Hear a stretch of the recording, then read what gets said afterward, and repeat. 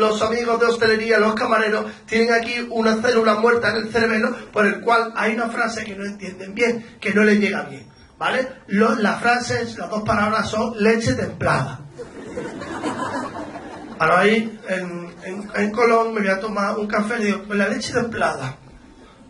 Pasan siete minutos cuando me trae café. Yo, Amado. Por favor. ¿Qué te hago otra cucharilla? Estaba sucia. Digo, ah, que se ha derretido me ha traído el café de litio. Usted no es camarero, es herrero forjador. Por favor, vamos a intentar comunicarlo bien, que estamos en el futuro, pero vamos a emplear tiempo y dinero en cosas que sean útiles. ¿Sabéis que Apple, iPhone ha sacado lo que tengáis iPhone? Lo sabéis. Los tíos de Samsung lo vais a aprender. Y, y los de Huawei, los de Huawei, yo no sé ni qué hacer aquí. Deberían estar retados. Bueno, pues iPhone, increíble el futuro, ha sacado una aplicación que se llama Apple Pay.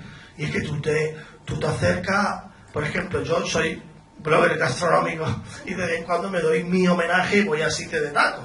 Fui el otro día al escocés, al McDonald's, y cuando te acercas a la pantalla, la aplicación te detecta que estás cerca, no tienes que sacar ni la cartera ni el móvil. Dice, ya está pagado. Y dice, ah". por un lado piensa, Dios mío, es el futuro. Increíble. Pero por otro lado, yo llevo dos semanas cojonado. ¿No te, imaginas que yo estoy dando un paseo por la, por la playa de la Barbarosa y estoy invitando a todo el mundo? La gente, toma, la madre, hombre, es que yo voy mucho a Cataluña, yo el, el miedo a invitar lo tengo ahí. Yo creo que deberíamos poner un poco todos de acuerdo para cosas que no era necesario mover, lo están adelantando demasiado. Por ejemplo, tú ibas a ver a tu colega, ¿no?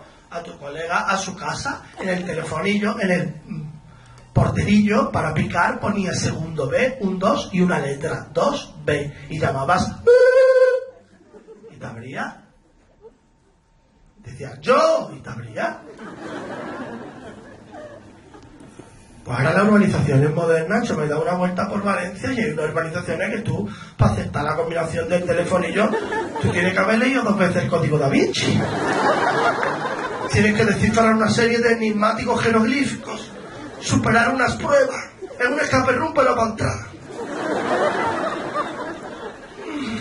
Número 33, bloque 6, escalera 4, campana 2, almohadilla. Seguidme, chicos. Creo que es por aquí. Que el otro día acerté la primera y me han convalidado arquitectura. Es muy complicado.